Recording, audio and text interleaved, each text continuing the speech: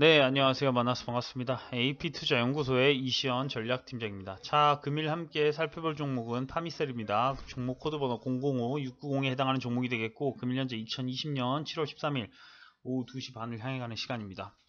자, 여러분들이 지금 조금 보시면, 자, 이런 부분들을 말씀드릴 수가 있어요. 자, 수량, 자, 제가 어떤 걸 말씀드렸냐면 파미셀은 램데시비르 원료를 독점 공급하는 80% 이상의 원료를 독점 공급하는 유일한 대량 생산이 가능한 회사가 바로 파미셀이다.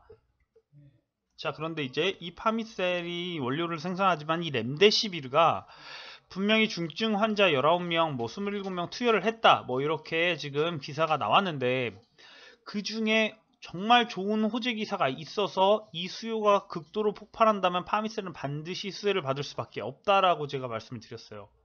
자 그리고 나서 제가 말씀드린 게 뭐냐 엄청난 매집을 거쳤지만 외국인이 며칠 동안 팔아냈지만 분명히 중장기적으로 엄청난 물량을 지금 사실은 담고 있다 뭐 몇백억 뭐 500억 가까이 정도의 지금 외국인의 세력 매집이 지금 눈에 띄어요. 자, 그리고 이제 연기금이 지난 금요일 지금 보시면 연기금이 8만 4천 주, 요 정도의 뭐 6만 7, 만뭐 이 정도 주가 연기금 주예요. 자, 그래서 대부분의 연기금이 들어왔던 종목이 바로 파미셀.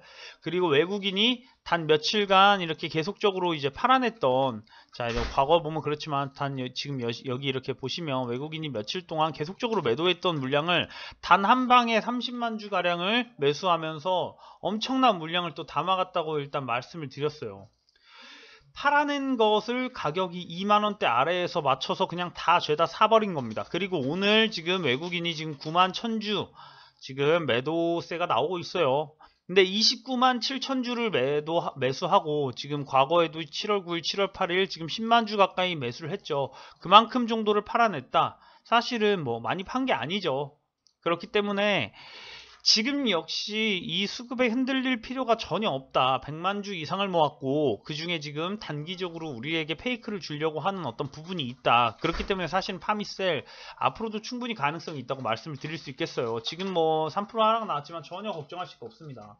더 좋은 가격을 여러분들에게 드리는 겁니다. 이 정도는. 자 그래서 파미셀이 지금 램데시비르가 분명히 램데시비르를 투여한 환자 중에 몇 명이 나왔다고 지금 기사가 나왔어요. 자, 나왔긴 나왔는데 이게 확실한 램데시비르의 인과관계가 없다. 지금 이런 기사가 이렇게 나왔기 때문에 지금 다시 한번 매직 구간을 거치는 거예요. 그런데 자, 이 효과가 있다 없다라는 재료가 일단 풀렸어요.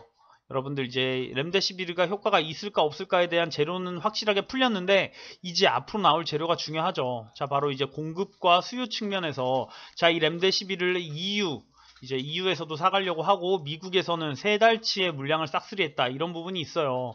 자, 세 달치의 물량을 싹쓸이했다는 건 세 달간 제대로 팔아낼 작정을 하고 있다. 뭐 이런 부분도 사실은 이제 염두가 되는 거겠죠. 그렇기 때문에 앞으로 파미셀은 두 달에서 세 달 가량은 조금 보유를 하시면서 이 길리어드사가 파미셀을 이, 지금 이 길리어드사가 이 램드시비르를 충분히 모으고 있고 이 부분이 공급이 적어지면 수요는 결국에는 공급이 불안정해지면 수요는 폭발하게 되는 게 이제 가격으로 나타날 겁니다. 그리고 가격이 램데시비를 한 번 투여하는데 500만 원입니다. 엄청나요. 그렇기 때문에 사실은 뭐 최고의 치료제라고 말할 수는 없지만 중증 환자 같은 경우에는 답이 없어요. 그거 말고는 할 게 없기 때문에 혈장 치료제가 지금 완벽하게 나와서 이 혈장 그렇지만 혈장 치료도 지금 가격 단가가 지금 나오지 않았지만 혈장 치료도 분명히 비쌀 거예요.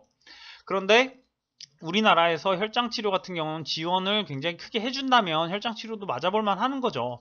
자, 그래서 앞으로 파미셀은 분명히 수혜를 받을 수 있는 부분이 굉장히 많이 보인다. 재료적인 것, 수급적인 면 굉장히 보이기 때문에 단기적으로 여러분들이 흔들리지만 않으시고 어느 정도 2만원 아래에서만 모아가시면 충분히 정고점을 뜰 수 있는 그런 종목이라고 저는 파미셀 바라보고 있습니다.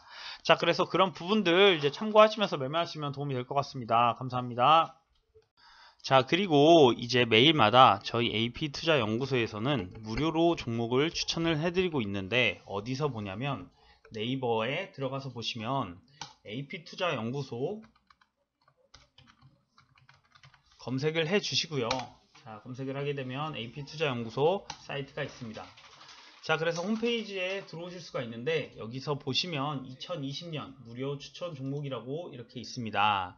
자, 그래서 이제 보시면 매일마다 이렇게 무료 추천 종목을 진행을 하고 있습니다. 그래서 보시게 되면 이제 여기 추천 종목이 있고 이제 초- 장 초반부터 이렇게 추천주와 시황 종목 분석 이렇게 몇 가지씩 이제 여러분들께 알려드리기 때문에 이런 부분들이 궁금하신 분들은 실시간으로 댓글을 남겨드리고 있으니까 장중에 오셔서 봐주시면 될 것 같습니다. 자, 네이버에서 AP투자연구소를 검색을 해주시고 들어오셔서 2020년 무료 추천 종목을 눌러주시면 되겠습니다. 자, 마지막으로 영상 청취해주셔서 감사하고요. 좋아요와 구독 눌러주시면 저에게 큰 힘이 될 것 같습니다. 감사합니다.